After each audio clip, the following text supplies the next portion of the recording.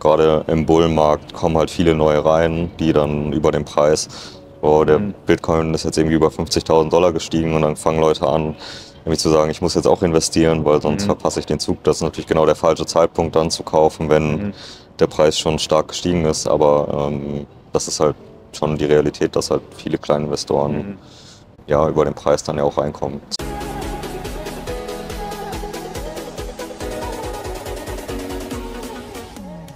Hi Leute, ich bin der Marc. Ich begrüße euch zur Bitcoin Hotel Show und ich habe hier einen Jan Wüstenfeld. Wir schauen uns heute verschiedene wirtschaftliche Zusammenhänge an, werden ein paar Mythen demystifizieren und bevor wir losstarten, stell dich ganz kurz vor. Ja, hi Marc, danke, dass ich dabei sein darf. Ich bin genau Jan Wüstenfeld.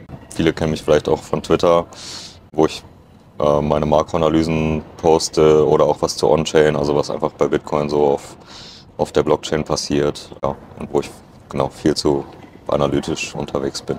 Sehr cool. Das heißt, wir starten relativ einfach. Warum sollte man weniger ausgeben, als man einnimmt?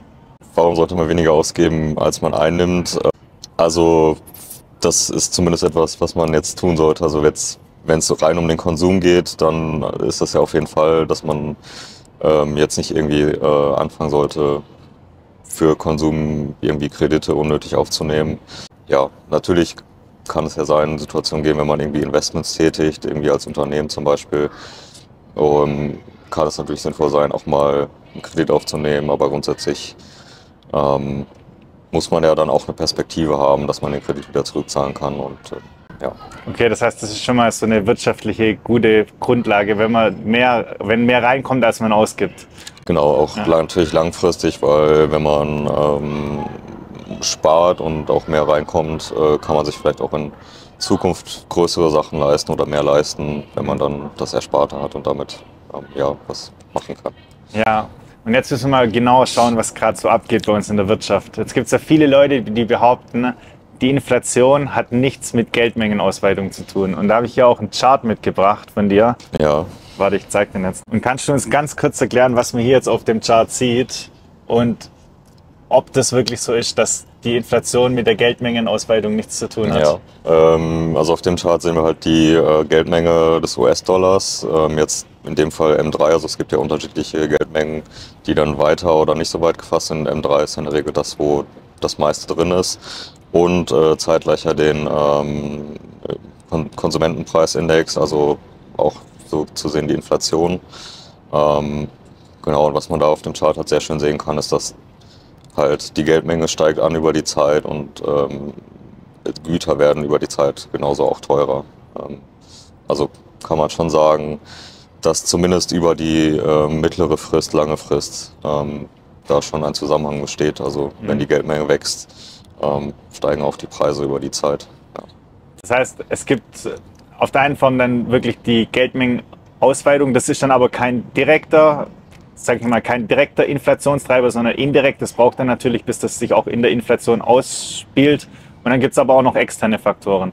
Äh, genau, also es kommt ja auch ein bisschen immer darauf an, was passiert mit dem Geld, in was ausgeweitet wurde und ähm, zumindest so nach der Finanzkrise haben wir das ja auch gesehen, Geldmengen wurden ausgeweitet und wir haben jetzt ja gar nicht so erstmal die Inflationsraten gesehen, also zumindest in den Konsumentenpreisindex ja. haben wir das nicht gesehen, ähm, was aber ja auch damit einfach in Teilen zusammenhing, dass wir unter anderem viel von diesem Geld einfach im Finanzsektor hängen geblieben ist für Spekulationen, ähm, wo dann einfach ja, zum Beispiel in Aktien investiert wurde oder auch in Häuser, die natürlich auch dann über die Zeit teuer geworden sind, weil ähm, ja, das Geld ist halt da gewesen und was macht man dann mit dem Geld, wenn man es jetzt nicht konsumiert?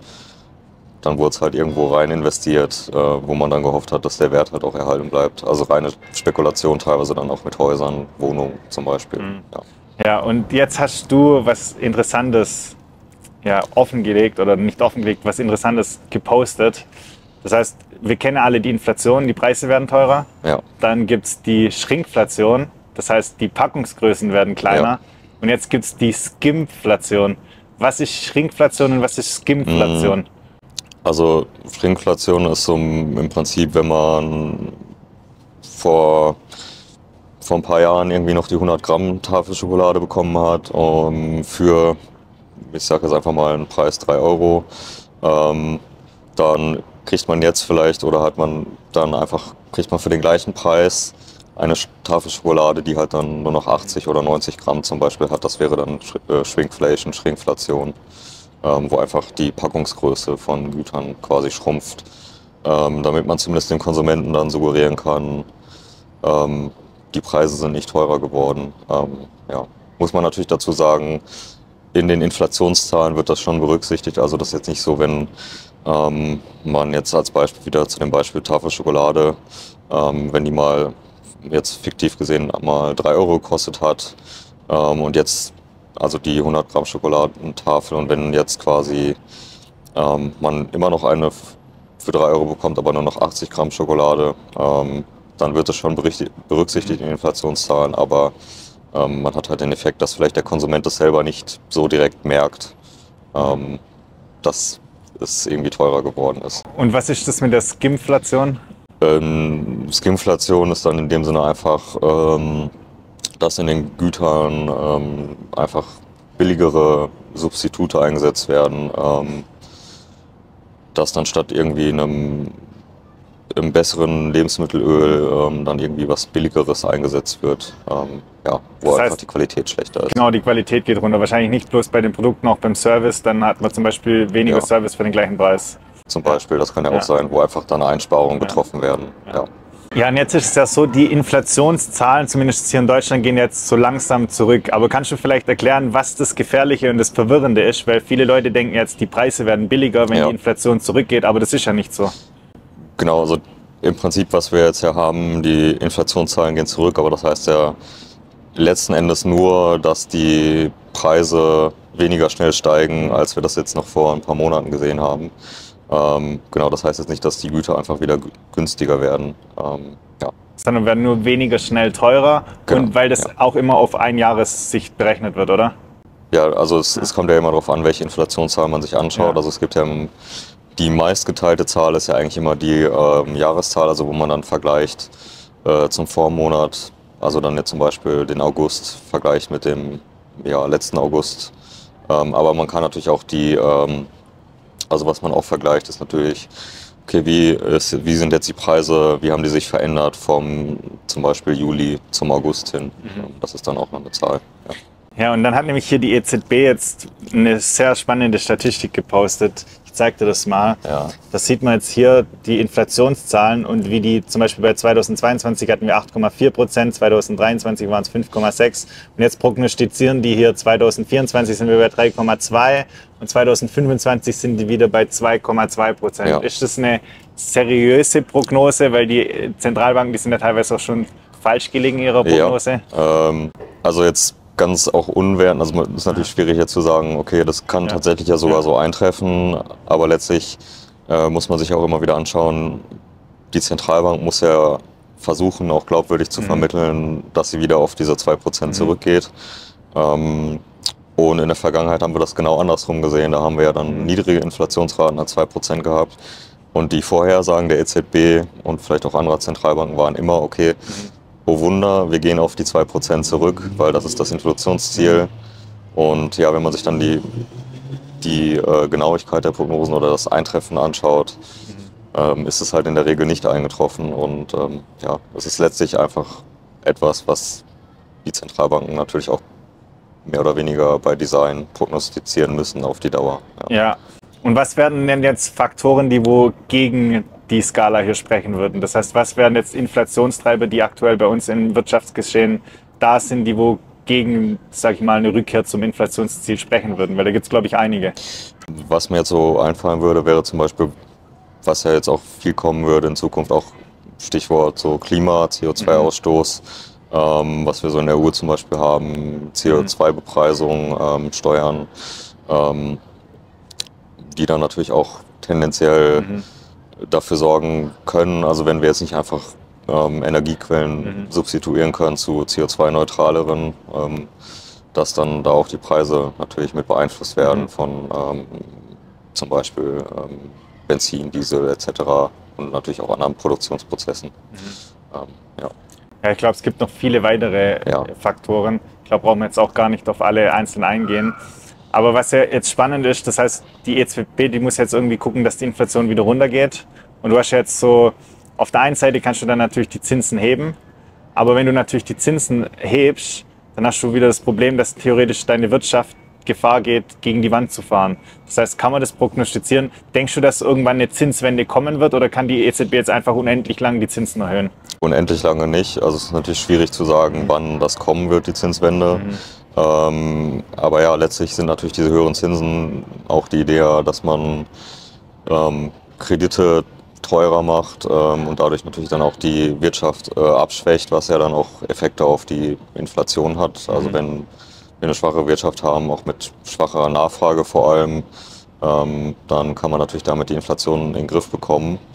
Aber es kann ja irgendwann der Punkt kommen, ähm, dass durch diese hohen Zinsen ähm, wir in eine Rezension schlittern oder dass dann Unternehmen in Schwierigkeiten geraten und dann irgendwann wieder der Punkt kommt, wo dann Zentralbanken sagen müssen, okay, ähm, wir haben jetzt wieder abschwächende Wirtschaft, ähm, idealerweise dann natürlich auch wieder mit fallenden Inflationszahlen und dann sagt dann die EZB oder auch die Zentralbank zum Beispiel in den USA, okay, wir müssen jetzt wieder die Zinsen senken, um jetzt nicht die Wirtschaft komplett abzuwürgen.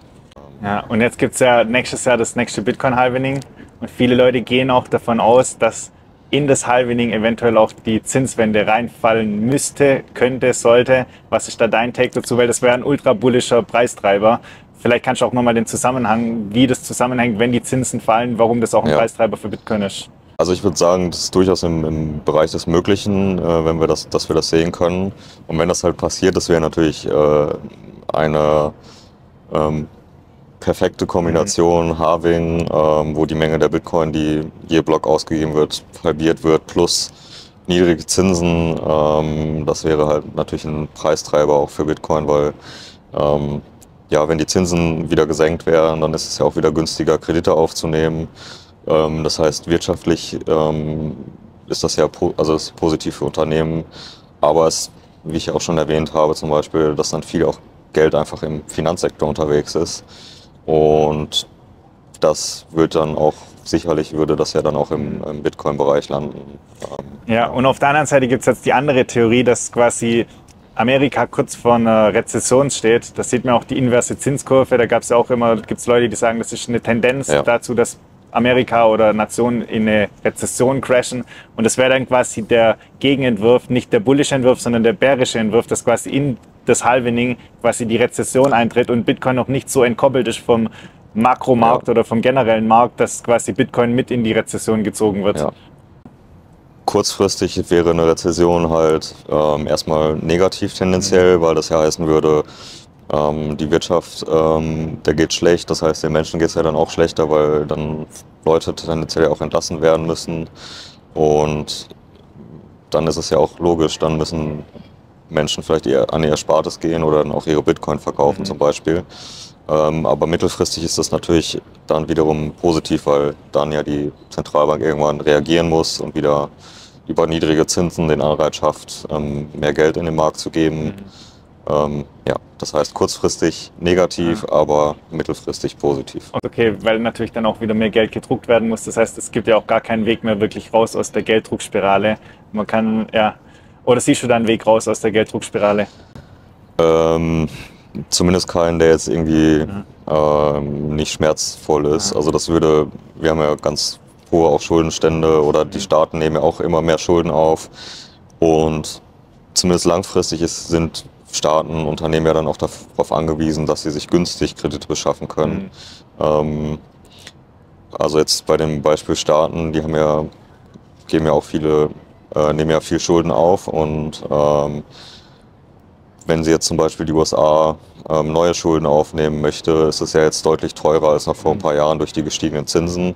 Und zeitgleich laufen ja Staatsanleihen auch aus, also Schulden, ähm, die werden dann zurückbezahlt, aber in der Regel heißt das ja nicht, dass die ähm, Menge der Schulden wächst, sondern dann werden halt quasi wieder neue Staatsanleihen, Schuldtitel quasi ausgegeben zu höheren Zinsen. Ähm, ja, und das ist ja keine Dauerlösung. Ähm, und da muss halt langfristig aus meiner Sicht müssen die Zinsen dann auch wieder sinken und die Alternativlösungen wären halt irgendwann, wenn es gar nicht mehr geht, Schuldenschnitte Ja. zum Beispiel, wie wir es ja auch mal in Europa dann gesehen haben mit äh, ja, südeuropäischen Ländern. Mhm. Und, zum und Beispiel. was, was wäre in dem Szenario, dass das Wirtschaftswachstum so boomt, dass wir quasi die Schulden wieder outperformen können? Da gibt es auch Leute, die sagen zum Beispiel jetzt mit dem KI-Fortschritt, das wäre vielleicht eine Möglichkeit, dass du so viel Wirtschaftswachstum Ja. generieren kannst. Was ist da dein Take dazu? Also das ist halt so das dann schon das Prinzip Hoffnung letztlich. Mhm. Du, du müsstest darauf hoffen, dass jetzt auf einmal die auch Volkswirtschaften wieder sehr stark anfangen zu wachsen und dass KI da so ein starker Treiber ist. Ähm, schwierig vorherzusagen, aber letztlich ähm, finde ich, das ist so ein Ding, ja, wir können jetzt nicht unsere, die Zukunft unserer Wirtschaft irgendwie auf dem Prinzip Mhm. Hoffnung Ja. oder das, unser Handeln jetzt auf Prinzip Hoffnung, dass das schon alles irgendwie wird, ähm, aufbauen. Ja. Und was ich auch spannend fand, ich habe jetzt neulich eine Statistik gesehen, allein die Zinszahlungen der USA sind bei weitem größer als die komplette Marktkapitalisierung von Bitcoin. Ja. Ist ja auch super spannend. Und jetzt hast du dich auch mit, du bist ja, machst ja gerade deinen Doktortitel. Vielleicht kannst du uns ganz kurz erzählen, wo du genau deinen Doktortitel machst. Und dann hast du dich beschäftigt mit verschiedenen Investoren, wie Kleininvestoren und wie Großinvestoren anlegen. Und dann können wir vielleicht mal auf die beiden Gruppen eingehen, wo die Unterschiede Ja. sind. Vielleicht aber erstmal, wo machst du gerade deinen Doktortitel? Genau, also ich promoviere in Volkswirtschaftslehre. Ähm, ursprünglich bin ich eigentlich da auch mehr im Bereich gestartet, ähm, Entwicklungsökonomik, also wie sich ähm, äh, Volkswirtschaften in Entwicklungsländern entwickeln, ähm, vor allem in Bezug auf Handel, ähm, wenn die sich öffnen. Was macht das mit den Industriesektoren? Und aber wie das halt so ist, wenn man einmal in das Rabbit Hole Bitcoin reingestiegen ist, ähm, bin ich irgendwann an den Punkt gekommen und gesagt, okay, ich muss auch irgendwie meine Forschungsarbeit irgendwie ein bisschen an Bitcoin ausrichten. Ähm, und mittlerweile ist das dann auch mein Hauptfokus irgendwie auf Bitcoin ähm, und da auch so ein bisschen die Kombination aus ähm, den Daten von der Blockchain, also On-Chain und wie sich Investoren verhalten ähm, oder der Bitcoin-Preis generell. Ja. Genau, das heißt, du schaust jetzt verschiedene On-Chain-Daten an. Nimmst du da Glassnode-Daten oder was, was nimmt man da? Äh, man kann da sehr unterschiedliche Daten nutzen. Also in dem letzten Papier, was ich jetzt ähm, rausgebracht habe, habe ich Glassnode-Daten benutzt und ähm, an dem aktuellen Projekt, wo ich dran bin, was jetzt auch demnächst dann ähm, rauskommt, äh, da bin ich dann vor allem bei zum Beispiel CryptoQuant, ist auch ein anderer Datenprovider, ähm, die ich dann nutze. Okay, dann lass uns Ja. doch mal die kleinen Anleger erstmal rangehen. Das heißt, was sind so die Muster, die man sehen kann Ja. bei Kleinanleger?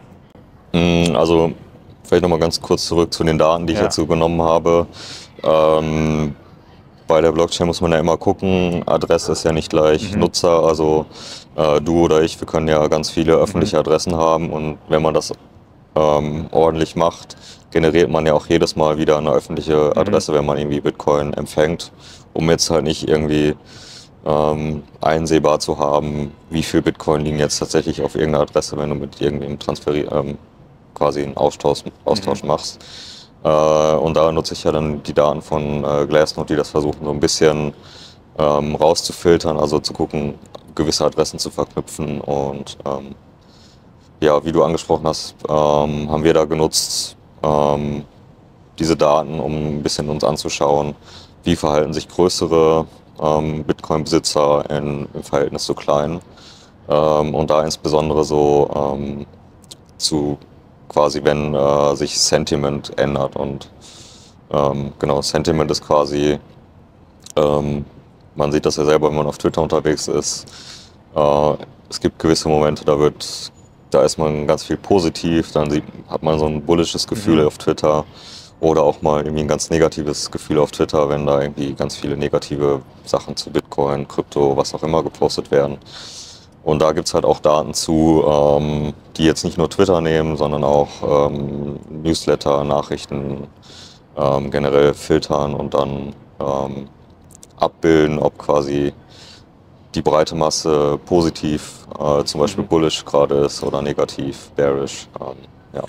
Okay, das heißt, jetzt angenommen, wir gehen jetzt mal vielleicht die zwei Szenarien durch. Einmal bearisches Szenario, einmal bullisches Szenario. Das heißt, angenommen jetzt, es läuft nicht so gut und gerade gehen wir auch ein bisschen seitwärts und so. Und wie verhalten sich dann Kleinanleger Ja. und wie verhalten sich dann Großanleger?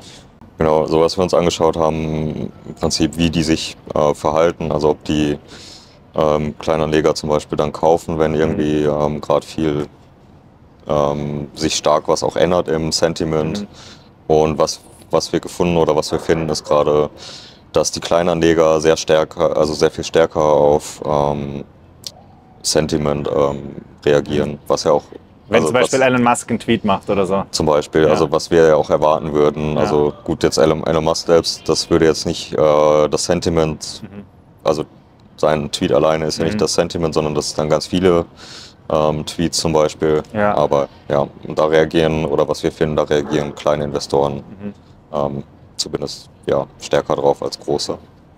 Okay, und die Großen, die sind dann quasi, die haben quasi den Newsticker gar nicht so im, Blick, sondern die haben quasi ganz klar ihr Investment, ähm, ihre Investmentstrategie im Ziel, im Kopf und die richten sich dann ganz klar da danach. Äh, zumindest ja, Ja. ist es das, was wir so finden, oder es scheint so zu sein, dass ähm, die großen Investoren vielleicht anders reagieren ähm, in der Masse, also Mhm. auf aggregierter Ebene. Also wir haben ja jetzt nicht individuelle Ebene, sondern aggregiert. Ähm, und letztlich ist das ja auch das, was wir erwarten würden. Ähm, vielleicht große Investoren rea reagieren nicht so emotional oder die haben, ähm, das sind ja tendenziell vielleicht auch irgendwelche äh, institutionellen Investoren oder welche, die ähm, deren alltägliches Geschäft investieren oder ähm, quasi kaufen, verkaufen von Assets ist. Und da gibt es dann vielleicht mehr eine Strategie, die nach anderen Faktoren getrieben ist, als jetzt irgendwie kurzfristig negativen oder positiven ähm, Schlagzeilen irgendwo. Aber schon gerade umgekehrt, was wir schon sehen, ist, wenn es sehr viel bullish Sentiment ist, dass wir bei, gerade bei den kleinen Investoren mh, viele sehen, die einkaufen. Ähm, und ich finde, das spricht auch vieles für, wenn man sich so das anguckt. Gerade im Bullenmarkt kommen halt viele neue rein, die dann über den Preis, oh, der Mhm. Bitcoin ist jetzt irgendwie über 50.000 Dollar gestiegen und dann fangen Leute an, irgendwie zu sagen, ich muss jetzt auch investieren, weil sonst Mhm. verpasse ich den Zug. Das ist natürlich genau der falsche Zeitpunkt dann zu kaufen, wenn Mhm. der Preis schon stark gestiegen ist. Aber ähm, das ist halt schon die Realität, dass halt viele kleine Investoren Mhm. ähm, ja, über den Preis dann ja auch reinkommen zu Ja. Bitcoin. Und dann hast du auch noch, bist du auch noch auf viele andere Metriken eingegangen. Ich weiß jetzt nicht, ob das dann Teil von deiner Studie war, wahrscheinlich eher nicht. Zum Beispiel, was ich hier spannend fand, zum Beispiel hier, das sieht man hier in der Grafik, das sieht man hier die Bitcoin Exchanges und da sieht man, dass die Balances von den Bitcoin Exchanges so niedrig sind wie 2018. Ja. Ist das jetzt was Gutes oder was Schlechtes? Was kann man zum Beispiel daraus ziehen aus der Ja. Grafik? Ähm, also grundlegend ist das schon was Gutes. Ähm, einfach unter dem Aspekt, dass scheinbar viele Leute lernen, okay, ähm, wir sollten unsere Bitcoin selber halten. Äh, man muss natürlich dazu sagen, Teil davon ähm, ist natürlich auch sowas wie ähm, das Grayscale ähm, Bitcoin gekauft hat, zum Beispiel damals, das sieht man auch in den Daten. Das sind natürlich auch Abflüsse von den Exchanges. Ähm, aber tendenziell scheint es schon so zu sein, dass ähm, wir da eine Bewegung sehen, dass mehr Bitcoin auch von den Börsen abgezogen werden. Und ähm, das auf, unter dem Aspekt dann halt positiv allein, dass vielleicht Leute lernen, okay, es macht Sinn, seine Bitcoin selber zu halten. Und ähm, das kann man natürlich jetzt nicht mit Sicherheit sagen, aber erstmal ist es natürlich auch positiv, weil je weniger, Bitcoin erstmal auf den Börsen sind, desto weniger Bitcoin sind tendenziell ja auch zum Verkauf verfügbar. Natürlich können die auch wieder schnell auf die Börse geschickt werden, aber erstmal sind sie runter von den Börsen und werden vielleicht nicht so schnell verkauft wie ähm, Bitcoin, die jetzt auf der Börse liegen. Ja, genau. Das heißt, wenn die Preise steigen, dann haben natürlich mehr Leute wieder Anreize, Bitcoin auf die Börse zu schicken und dann wird sich das wahrscheinlich auch relativ schnell wieder ändern.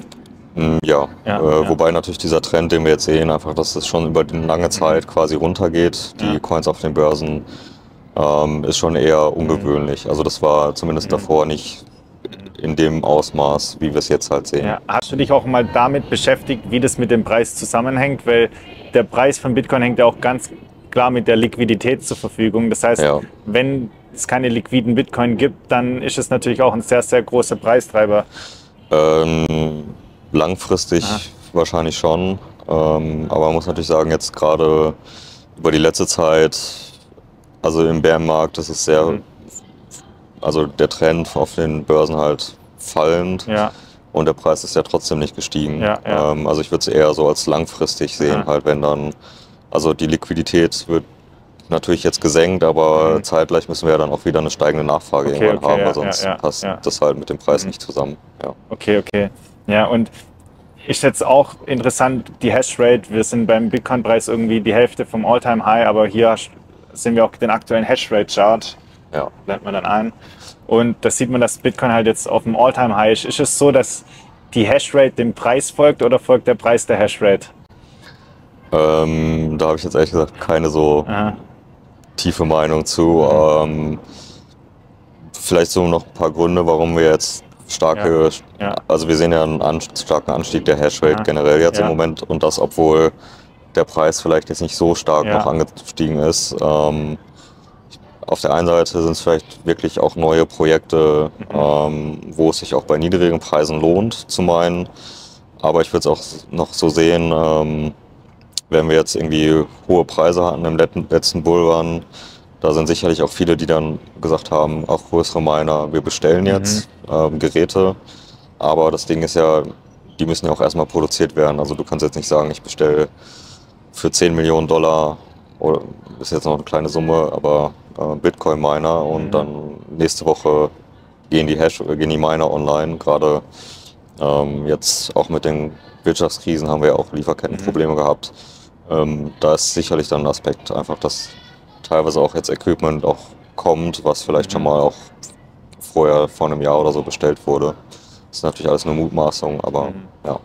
Ja, prinzipiell, wenn natürlich der Preis hochgeht, dann hast du theoretisch einen höheren Incentive, Hashrate zu generieren, Genau. zu akkumulieren. Und andersrum ist natürlich andersrum. Und je nachdem sind dann natürlich auch deine Profitabilitäten als Bitcoin-Miner unterschiedlich. Ja, Ja. Letztlich macht es halt bei klar höheren Preisen tendenziell mehr Sinn, Miner an, Ah, anzuschalten. Ähm, ja.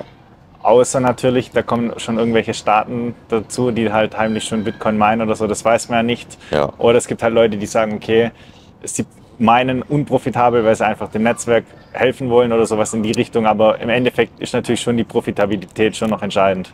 ja, also ich denke, gerade auf der, also den starken Anstieg, den wir sehen, der wird nicht von denen getrieben, die jetzt sagen, ich ähm, meine einfach nur, um das Netzwerk zu unterstützen, weil ähm, das ist ja dann schon viel Energie, die da reingesteckt wird Mhm. und ähm, da muss man halt durchaus auch ja irgendwann profitabel sein, dass sich das lohnt, weil Ja. sonst würde man ja auch zig Millionen Mhm. ähm, Dollar, Euro, was auch immer an Geld verbrennen. Ja. Und ähm, das macht man ja äh, nicht nur aus altruistischer Mhm. Motivation, um das Netzwerk zu unterstützen. Ja. Ähm, und Und ich glaube, wir müssen noch mal ganz kurz auch noch mal zurück zu dem Sentiment kommen. Das passt ja auch ein bisschen dazu. Und zwar, wir hatten jetzt geredet, dass große und kleine Anleger ein bisschen verschieden äh, reagieren. Und jetzt hattest du aber auch noch geschrieben, dass Großanleger aber teilweise Zugriff haben zu anderen Informationen wie die Kleinanleger. Was sind das für Informationen und haben die so ein, äh, wie sagt man, so ein, so ein Benefit, weil einfach Großanleger an bessere Informationen kommen und deshalb vielleicht auch den Markt besser timen können? Oder? ähm, also ich würde auf jeden Fall davon ausgehen, dass ähm, größere Investoren, also jetzt vor allem sowas wie Banken und so, andere Informationen haben. Ähm, das gibt es ja immer mal wieder in den Medien auch Fälle, wo man irgendwie Insider-Trading etc. hat. Ähm, oder sogar Investoren, die auch den Markt her bewegen können, was ja bei Bitcoin deutlich einfacher ist jetzt als zum Beispiel bei Gold. Und selbst da gibt's ja auch mal, gab es ja auch mal äh, Manipulationsskandale etc. Ähm, ja, also da kann man, ich würde schon sagen, dass man davon ausgehen kann, dass da auch mal andere Informationen da sind zu, was die Politik macht, äh, was andere Anleger machen. Ähm, ja. Und das würde dann auch wieder gegen die ganzen Trading-Geschichten sprechen, wenn dann irgendwelche YouTuber sagen, hey, hier habe ich die super Trading-Tools und hier könnt ihr mega die Kohle machen, weil die richtig profitablen Trader sind auch die Großen, die dann auch wirklich die Insider-Informationen haben. Und ohne Insider-Informationen ist es wirklich schwierig, mit Trading irgendwie profitabel zu sein. Ja, also Ja. oder halt, dass man sogar, wenn man jetzt groß genug ist, kann man ja auch den Markt bewegen. Ja, ja. Also du kannst dich positionieren Ja. und dann ja auch ähm, zumindest haben die die Möglichkeit oder können zumindest versuchen, den Preis in die Richtung Mhm. zu bewegen, der dann gerade die Position bestätigt. Das ja. ist ja, glaube ich, auch bei Binance so passiert, dass die teilweise gegen ihre eigenen Kunden teilweise gewettet haben.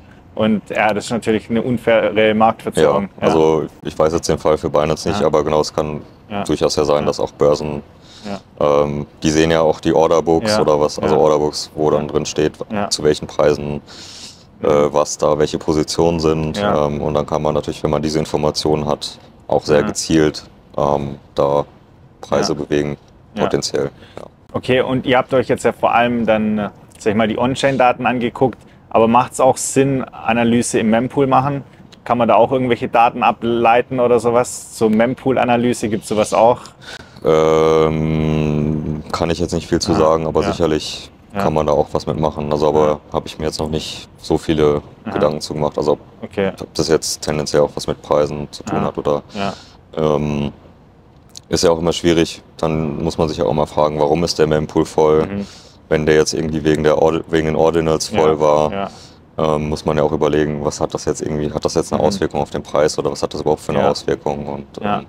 Und du hattest jetzt auch schon Gold erwähnt und was ich jetzt auch spannend finde, das heißt, hier sieht man jetzt den Goldchart, da sieht man den ersten Spot-ETF, 2004 war das, Gold. Ja. Was könnte jetzt passieren, wenn der Spot-ETF durchgeht und auch was ist das Besondere an einem Spot-ETF jetzt? Es gibt ja schon ETFs, Bitcoin-ETFs, aber das sind ja Futures-ETFs. Und was Ja, ist da nochmal der ähm, Unterschied zum Spot-ETF? Und können wir dann hier sowas ähnliches sehen wie hier, was wir auf dem Goldchart sehen, dass quasi Gold immer relativ seitwärts ging, bis dann halt hier der ETF durchging und dann ging es auf einmal richtig bergauf. Ja. Ähm, also du sprichst ja jetzt auch die ETFs dann USA an, also Mhm. so andere Spot-ETFs haben wir ja tendenziell sowas wie in Kanada haben wir das Mhm. schon oder in Europa haben wir dann äh, diese Exchange Traded Products, weil hier ähm, per Definition muss ein ETF, da ist ja der Name Fonds drin. Mhm. Das heißt, es müssen immer eigentlich mehrere Produkte da drin sein. Deshalb haben wir zum Beispiel in Deutschland ähm, eher sowas wie Exchange Traded Products oder Notes, wo man Bitcoin kaufen kann. Ähm, aber natürlich gerade in den USA, wenn jetzt da so ein Spot-ETF dann irgendwann mal ähm, vielleicht genehmigt wird, ähm, hat das ja erstmal vereinfacht das vielen Leuten natürlich den Einstieg in Bitcoin. Die sagen, ich möchte mich nicht damit beschäftigen, auf welcher Börse kaufe ich, kann ich meine Coins kaufen ähm, und auch sich gar nicht damit dann beschäftigen wollen, dass man das ja selber irgendwo verwahren kann oder sogar gar nicht können, weil ähm, es gibt ja auch vielleicht regulierte Investoren, die ähm, sonst ganz genau schauen müssen, ähm, wie verwahre ich die Bitcoin und darf ich das überhaupt rechtlich und das vereinfacht natürlich so ein Spot-ETF dann einfach erstmal den Einstieg ähm, in Bitcoin. Ja, das heißt, wir haben eigentlich drei ultra bullische Faktoren für einen höheren Preis. Das ist einmal das Halvening, dann zweitens die Zinswende, wenn wir wieder niedrigere Mhm. Zinsen haben und drittens dann die Spot-ETFs. Genau, und vielleicht noch auch dazu, es ist ja nicht nur, dass es den Einstieg erleichtert, sondern das ist ja auch irgendwie ein Signal. Also wenn ähm, auf einmal in den USA ein Spot-ETF angeboten werden darf, auch von der SEC erlaubt wird, Mhm.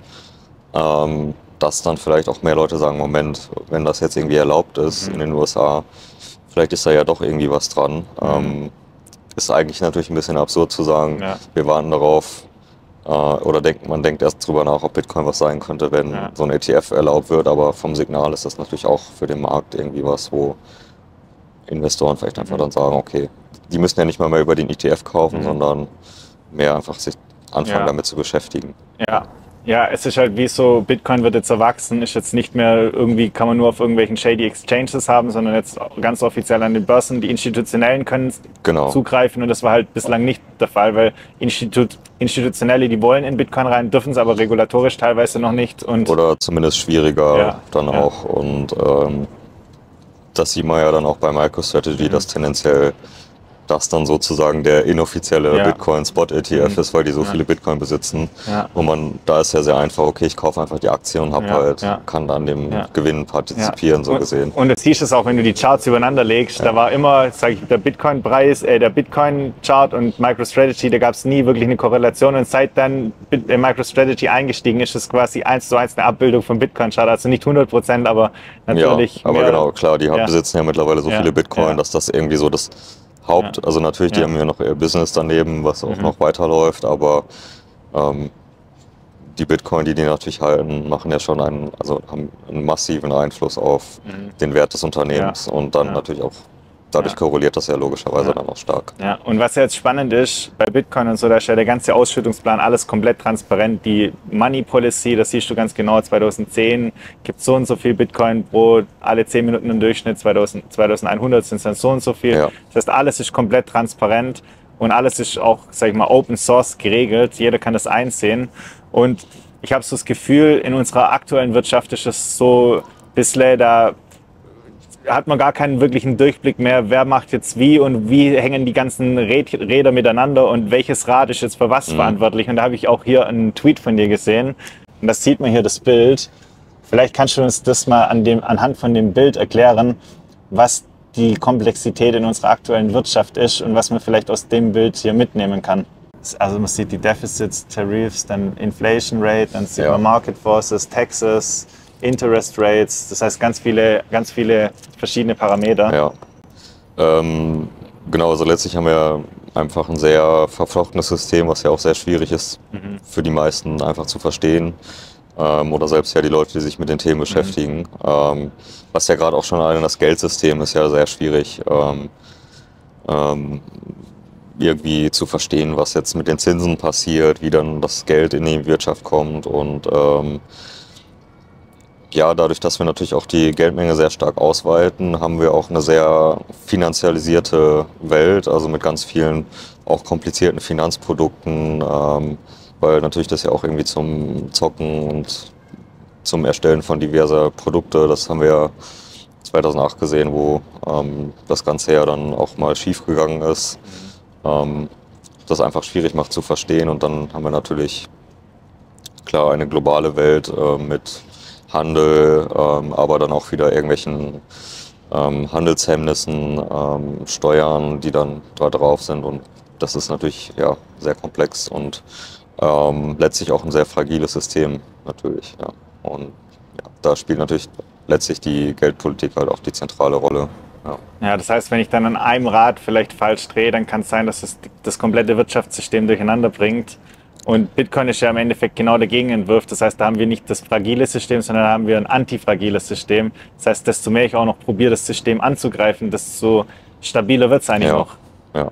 Ja, Ja, also ähm, gerade die Instabilität kommt ja durch, also aus meiner Sicht zumindest sehr viel bei durch die äh, Geldpolitik. Also erst wird erst wird das Geld irgendwie, ähm, die Zinsen werden gesenkt, um quasi die Wirtschaft anzufeuern. Ähm, das funktioniert ja auch zu einem gewissen Grad, aber zeitgleich, ähm, wenn das Geld günstig ist, ja der Nebeneffekt auch, es wird viel spekuliert, wird viel gezockt oder es werden Investments getätigt, die hätten eigentlich nie getätigt werden sollen, aber werden halt alle getätigt, weil es künstlich der Zins niedrig runtergedrückt wird. Ähm, dann kommt sowas wie Inflation oder so, dann werden die Zinsen wieder angehoben. Ähm, ja, aber dann weiß halt kein Mensch nachher, ab welchem Zins, wo welche Produkte irgendwie implodieren. Ähm, Mhm. Das war ja 2008 dann. Das haben ja die wenigsten vorhergesehen, dass dann da auch irgendwie ähm, faule Kredite etc. irgendwo unterwegs sind. Und ähm, ja, das ist ein, ja, und dann werden die Zinsen wieder runtergesenkt, ähm, wie wir das ja jetzt ja gesehen haben. Und dann werden noch unkonventionelle Geldpolitiken irgendwann gemacht, weil man an der niedrig unteren Grenze ist. Ähm, dann weiß man auch nicht genau, was passiert. Ja. Und Ja. dann geht das ganze Spiel wieder von vorne los und es dreht sich immer weiter. Und ja, die Spirale geht immer weiter nach oben und wird immer größer. Ja, und ich glaube, das ist halt auch das Fiese auch an der Inflation, weil du es halt nicht direkt auf Anhieb verstehst und es dir auch nicht direkt auf Anhieb wehtut. Das ist halt immer so hintenrum. Und wenn du dann verstehen willst, wie das zusammenhängt, dann ist es halt gar nicht so. Ich meine, allein wenn du mal fragst, wo kommt das Geld her? Ich weiß nicht, das wäre jetzt vielleicht auch die nächste Frage. Du bist ja jetzt auch hier im Wirtschaftsstudium. Ist den Leuten bewusst, wie der Geldschöpfungsprozess funktioniert und was sind so die gängigen Dinge, die dir gelehrt werden, zum Beispiel so, normalerweise wird einem immer gelehrt, Deflation ist ganz schlimm und wenn die Preise sinken, das wäre ganz schlecht. Was ist vielleicht da deine Einschätzung und auch deine Erfahrung aus so einem Wirtschaftsstudium? Ja.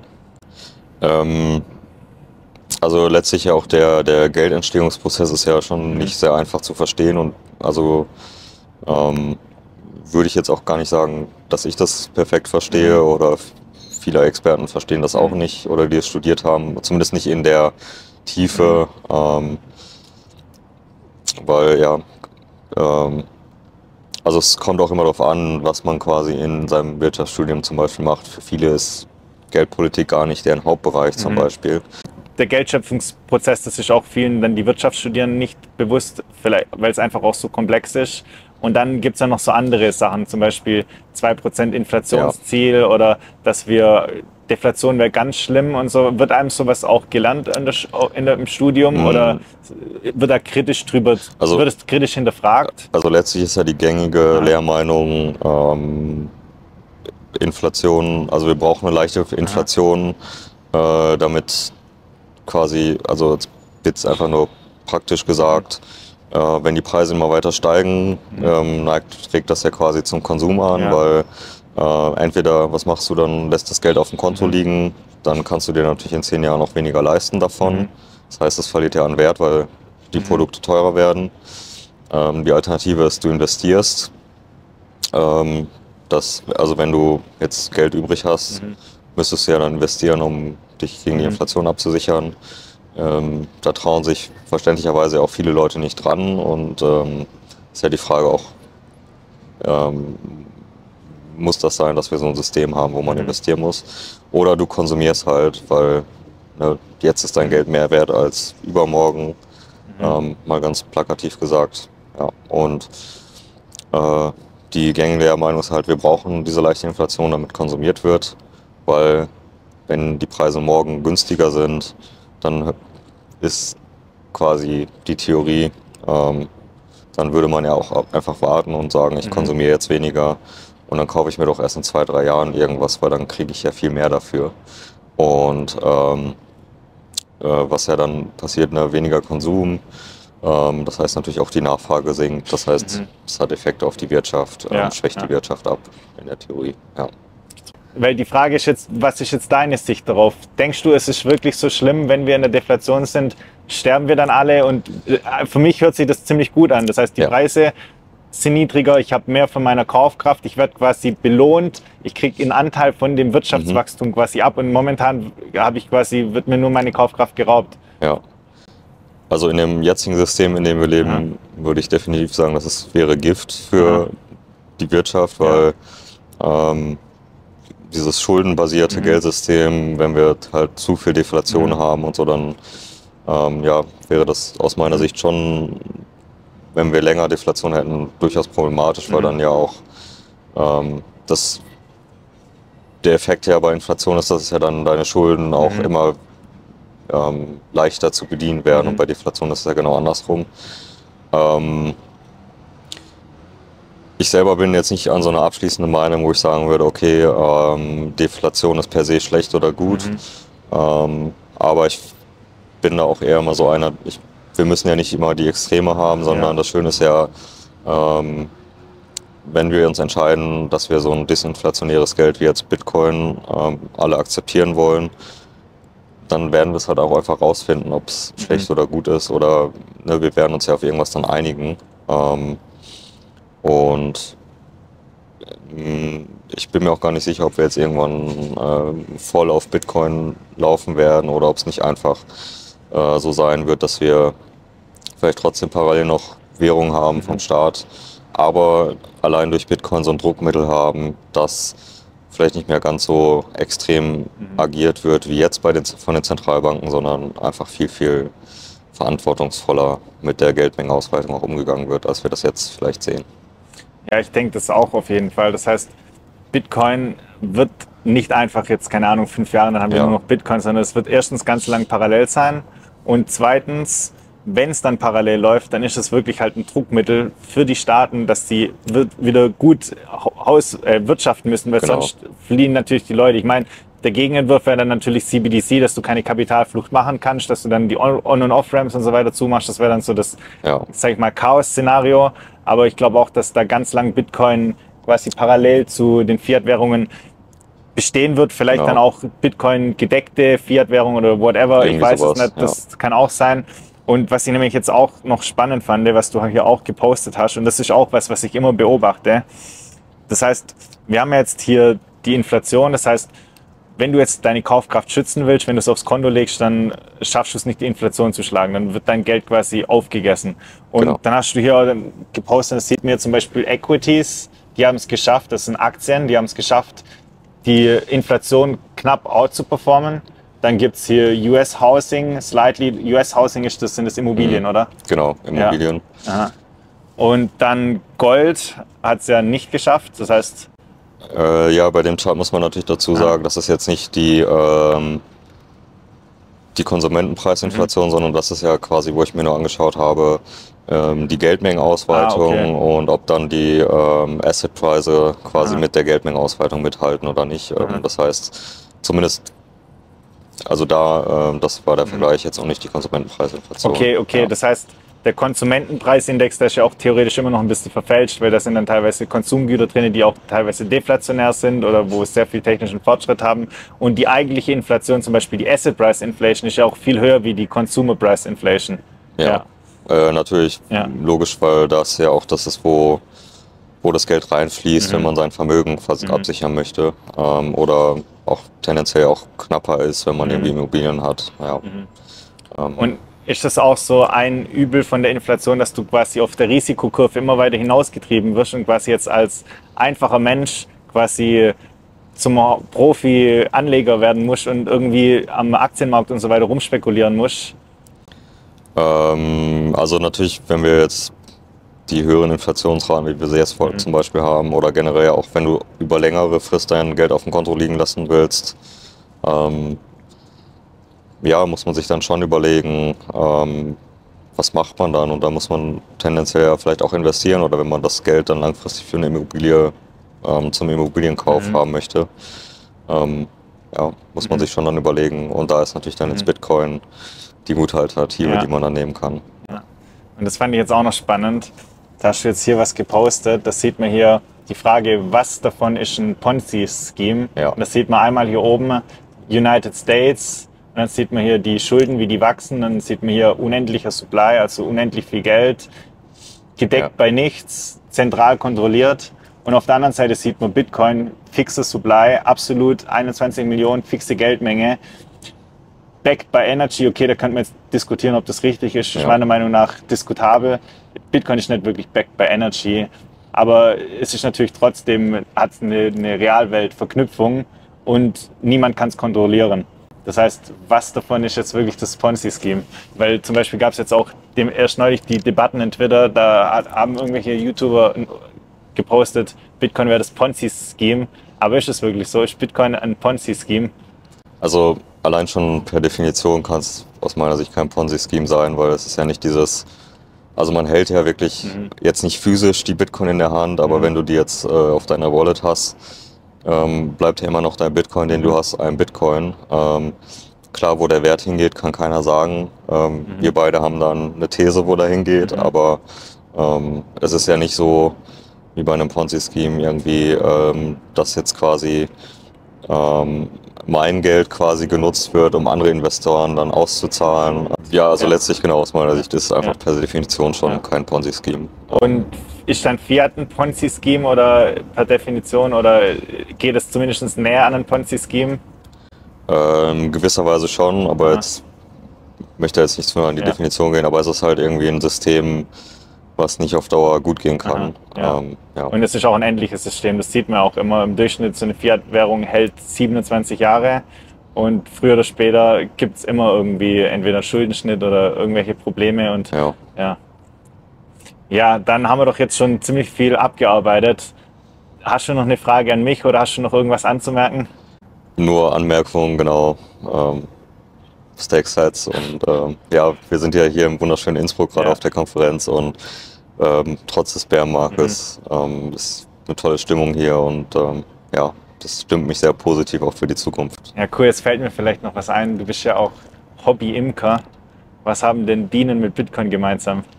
Ähm, ja, vielleicht das Proof of Work, also man sagt ja auch emsige Bienen und die Bienen sind ja Mhm. sehr fleißig auch unterwegs und ähm, ja, das passt vielleicht ganz gut zusammen. Ja, cool. Ähm, und wir haben jetzt, genau, Bitcoin ist so digitales Gold und Mhm. der Honig ist dann das analoge Gold, flüssige Ja. Gold. Ja, und die Bienen, die müssen dann quasi nicht die Bitcoin meinen, sondern die müssen quasi die Bitcoin in ihrer Honigwabe Ja. ähm, schürfen. Genau. Und die Goldbugs, die müssen dann in die Mine reingraben. Ja. Und so kann man auch quasi den Honigsupply nicht einfach per Knopfdruck erweitern. Ja, Ja, und es wird auch nicht kontrolliert bei irgendeiner zentralen Entität, sondern dezentral weltweit gibt es überall verteilte Honigwaben.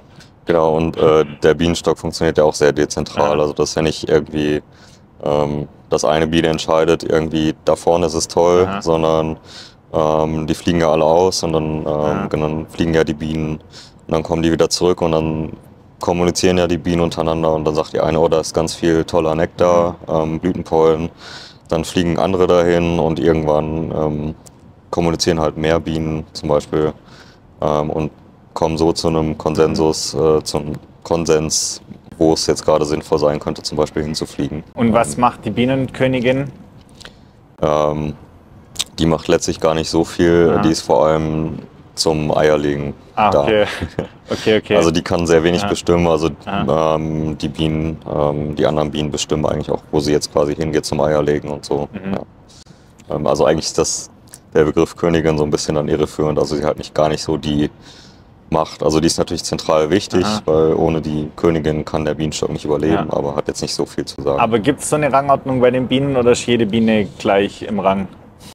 Mm, Letztlich sind die mehr oder weniger gleich im Rang und dann ähm, wird halt ja, wie gesagt, über diesen Ja. Entscheidungsprozess, wenn eine kommt und kommuniziert, Aha. also über die Art, wie die kommunizieren, ähm, wenn Bienen jetzt wilder kommunizieren, dann Aha. wissen die, okay, da könnte wirklich was sein und dann fliegen auch mehr andere dahin und die geben dann auch wieder Feedback ähm, und dann, wenn halt eine große Menge sagt, irgendwie zum Beispiel, da gibt es viel Nektar, Honig, dann Ja. fliegen auch viele Bienen Aha. in diese Richtung.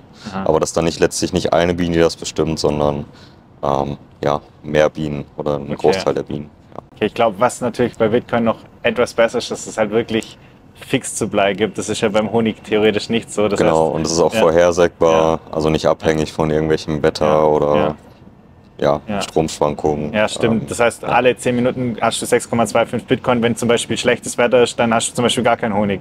Ja. Oder, ja. Genau. Natürlich, äh, schlechtes Wetter kann man jetzt auch sagen. Ja. Irgendwie die chinesischen Bitcoin-Miner wurden Ja. abgeschl- abgeschaltet. Dann hattest du natürlich auch für eine gewisse Zeit, dass Ja. die Blöcke langsamer reinkommen, Ja, aber dann ja. wird es ja wieder angepasst. Und, Ja. ja. Das heißt, du hast weniger Bienen, als hast du weniger Hashrate. Ja. Ja. weniger Honig, weniger Ja. Nektar. Ja, ja, ja. Ja, mega spannend. Das heißt, lass uns noch wissen, wo können wir dich finden, wenn wir dich fragen wollen, wenn man dich Ähm, finden will. vor allem auf Twitter. Ja. Einfach, genau, Ja. folgt mir auf Twitter. Ja, da Ja, bin cool. ich zu finden. Ja. Dann äh, bedanken wir uns beim Zuschauen. Ähm, peace out, bis dann, wir sehen uns. Liken, kommentieren. Wenn ihr noch Fragen habt, schreibt es in die Kommentare. Der Jan, der kann bestimmt auch noch was beantworten. Oder wenn ihr Klar, wissen wollt, gerne. wie ihr die Proof of Work Bienen am besten ja, zum Honig machen bringt. Wir bedanken uns. Bis dann. Peace out. Ciao, ciao. Ciao.